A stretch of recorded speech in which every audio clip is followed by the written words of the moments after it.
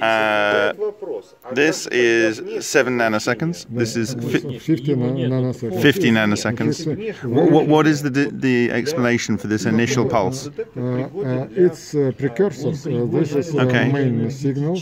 Right. And uh, from the uh, unusual radiation because of э, normal э, okay. So this, so what, what, you're using, just to run over it again, this is a normal boron 10 uh, neutron detector. Yes, this this is a standard uh, like capacitor resistor setup. Resistor, scheme. and this is the output.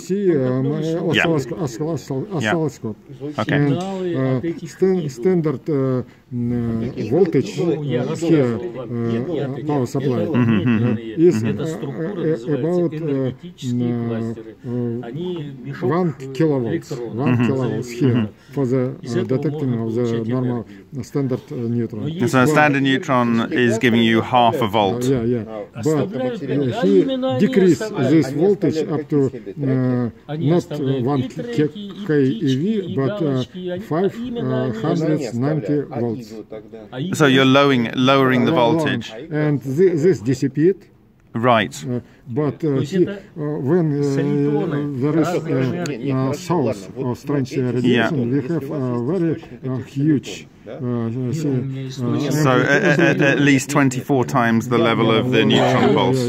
And it's uh, uh, a consequence of the action of strange radiation on this... on the, boron 10? Boron 10. Okay. So um, these are just standard detectors. Standard. And essentially all you're doing is lowering the voltage to stop detecting neutrons. Yes. Stop, and then you see this pulse on your oscilloscope. Thank you.